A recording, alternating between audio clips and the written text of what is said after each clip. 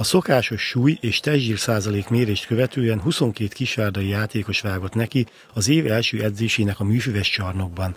A nyári játékos mozgáshoz képest kevés változás várható a téli átigazolási időszakban. Az biztos, hogy Temur, Párcvánia és Vuk Mitosev is máshogy folytatja pályafutását, és a sérülés után lévő Jánvári Gábort több játék lehetőség reményében kölcsön vagy eladná a klub vezetése. Mint Révész Attila sportigazgató elmondta, 106 játékos néztek meg, közülük szeretnék kiválasztani azt a két-három futbalistát, akik tavasszal segítségére lehetnek a csapatnak. A mai nap érkezik már hozzánk egy görög játékos a középpályára, Stavros Cukalász.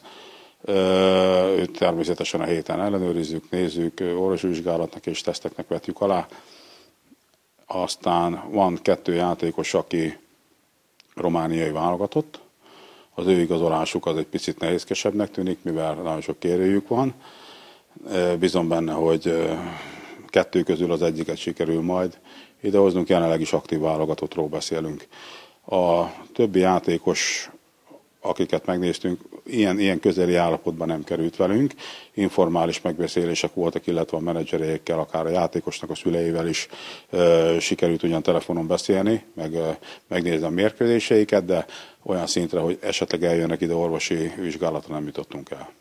Dajka László vezetőedző szerint a felkészülési időszak rövidsége miatt jelentős változásokat nem terveznek, inkább az ősszel jól működő elemekhez szeretnék tovább csiszolni. Különösebben nagy szerkezeti váltásra nem készülünk, nem készülünk. Meglátjuk, én úgy gondolom, hogy mivel tavaly többször is elmondtam, hogy a legkevésbé összeszokott társaság mi vagyunk, ebben léptünk előre, úgy gondolom, hogy taktikailag is léptünk előre, és itt az utolsó mérkőzéseken már lehetett látni valamit ezekből a gyakor, begyakorolt, begyakorolt dolgokból. Én azt szeretném látni a későbbiekben, hogy ha lassan is, de ebben az egészben, hogy összességében a labdarúgás minden szegmensében tudunk egy picit fejlődni.